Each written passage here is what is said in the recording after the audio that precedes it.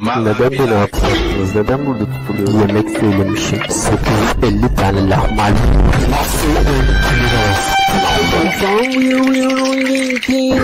Lahmacunları geri ver hepsini.